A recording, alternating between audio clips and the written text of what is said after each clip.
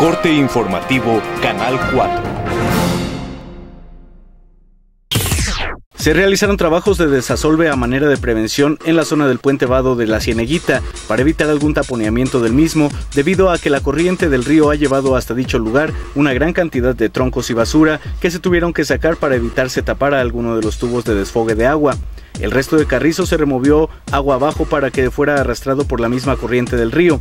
Se informa que el río continúa a un nivel adecuado, aún con la creciente provocada por las precipitaciones suscitadas en estas fechas, y que se continuará con el monitoreo de ríos, arroyos, bordos y presas. En el mes de octubre se cumplen 60 años de que la mujer en nuestro país pudiera votar y ser votada. Con este motivo, el Instituto Federal Electoral realizará varias actividades a nivel nacional.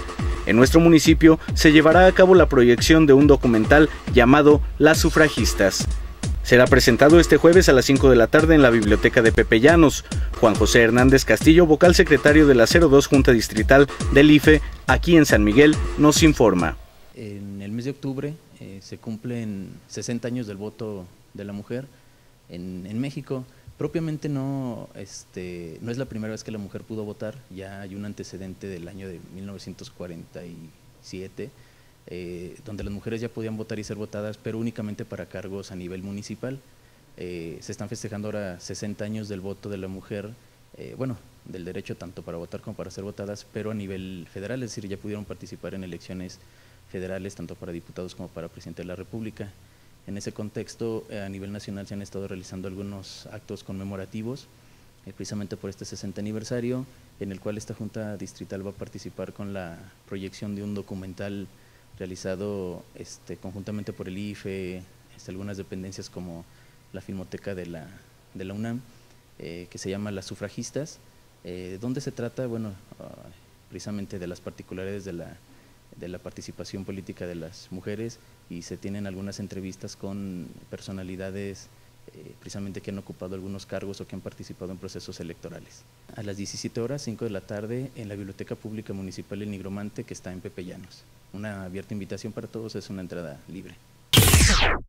Serán 37 años de manera ininterrumpida de que se realice el tradicional concierto de los internacionales violines de los hermanos Aguascalientes, llevándose a cabo el 26 de septiembre en el jardín principal, en honor al santo patrono San Miguel Arcángel. José Luis y Daniel Aguascalientes comentan.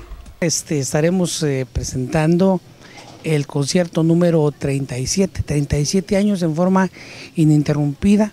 Este, que pues con mucho cariño siempre lo hacemos en honor en primer lugar de nuestro santo patrono de San Miguelito. Y bueno, de mucha gente de San Miguel nos eh, siempre nos acompaña en esta ofrenda que hacemos a nuestro al Señor San Miguel. Y desde hace 37 años a las 8 de la noche aquí en la esplanada del jardín principal como ha sido costumbre desde, desde ese año 1977. Bueno, la gente de antemano ya sabe el, repertorio que nosotros manejamos, que es la música instrumental internacional, pues con música de, con música de diferentes países del mundo, lo mismo tocamos, la gente lo sabe, música italiana, música rusa, música mexicana sobre, por supuesto, y música mexicana pues obviamente de diferentes autores, ¿no? Así como tocamos un vals de Juventino Rosas, pues también tocamos una canción de Juan Gabriel, una canción de Manzanero, Armando Manzanero, una canción de José Alfredo Jiménez, pues poquito variado. Siempre la gente ya, afortunadamente ya nos tiene bien identificados con nuestro repertorio de música instrumental internacional. Se acerca ya la tradicional alborada en nuestro municipio y para ello mucha gente se encuentra ya trabajando para que esta fiesta luzca como lo ha sido desde sus inicios. La elaboración de las estrellas que le da colorido y alegría a la alborada es algo muy importante. Por eso don Emigdio Ledesma agradece a las personas que están participando para continuar con dicha tradición. Eh, para agradecerles a ustedes primero el espacio que se nos da y agradecer a las personas y a las familias que nos apoyaron con la limpieza y restauración de, las estrellas que presentamos en la reseña. Estamos trabajando ya para la alborada, desde aquí les mando un saludo a todos los habitantes de la colonia Aurora que ya recibieron sus estrellas ayer, se las llevó el licenciado, el ingeniero Martín González, él se encarga de ella, es el presidente de la colonia y él se hizo cargo de llevarse las estrellas ya limpias, eh, arregladas para que ya nomás les hagan favor de vestirlas para la alborada. En la casa de ustedes, en privada de la Aurora, este, estamos, si, seguimos trabajando sobre el, carro alegórico que vamos a presentar. Esta es la estampa del carro alegórico que vamos a sacar este año. Eh, siempre nos ha gustado eh, trabajar sobre algo que se dignifique la ciudad de San Miguel Allende y sus habitantes. Lothar Miulla invita a su exposición que tendrá en el Museo de la Ciudad de Querétaro. Voy a tener una exposición como este viernes en Querétaro, en el Museo de la Ciudad. Y yo soy pintor, ya expuesto en varios lugares aquí en el país, en Aguascalientes, en uh, uh, Chihuahua y uh, Querétaro, y también expuesto um, internacionalmente.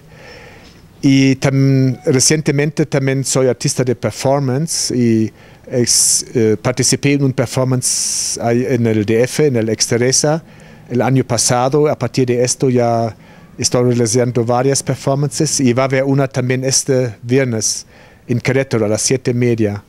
Allá los espero. Gracias. El viernes les esperamos allá en el Museo de la Ciudad en Querétaro. Corte informativo, Canal 4.